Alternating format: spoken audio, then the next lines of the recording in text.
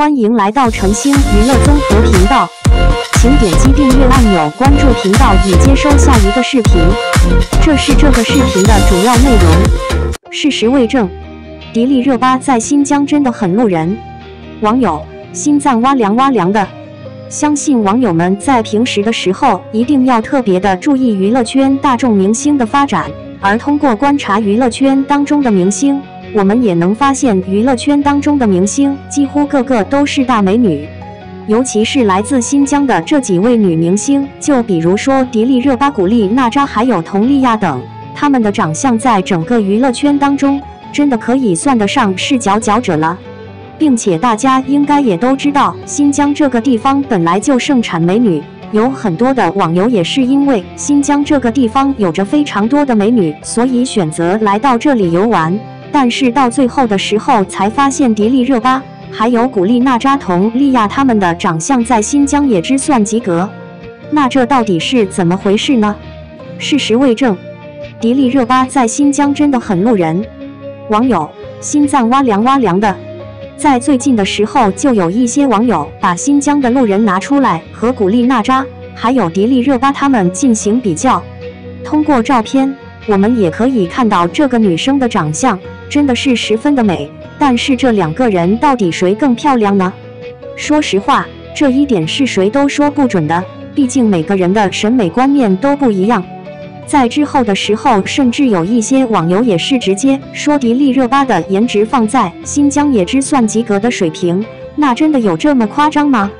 在之后的时候，网友们也是分析了迪丽热巴的优势。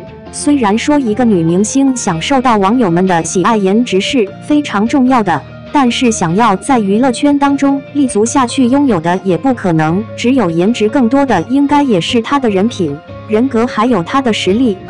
不得不说，这些网友说起来还是相当的有道理。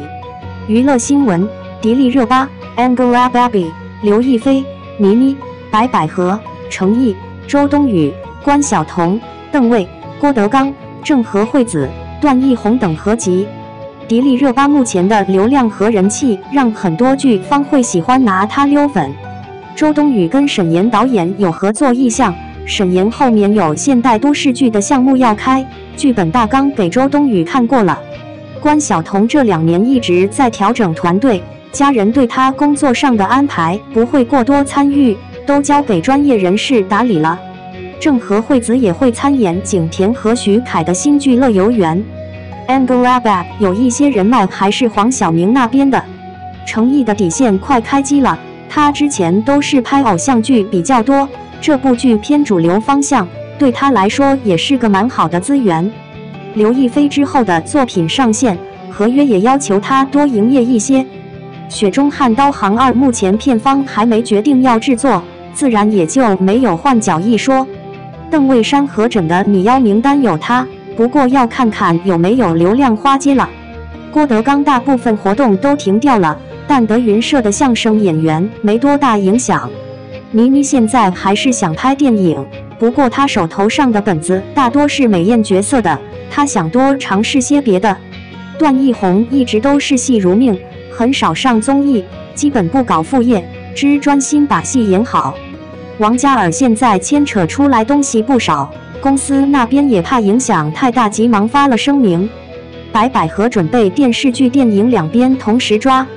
女歌手虽然一直算不上一线，但这些年依旧赚了很多很多钱，一部分钱是自己赚的，一部分钱是交往过的男人给的。她恋情很多，只不过不是爱豆，大家不太有所谓而已。之前当过一次小三。和男方被迫分手后，男方还对她依依不舍，给了一大笔钱当生活费来着。请点击订阅按钮，更新我们下一个有趣的新闻和分享视频。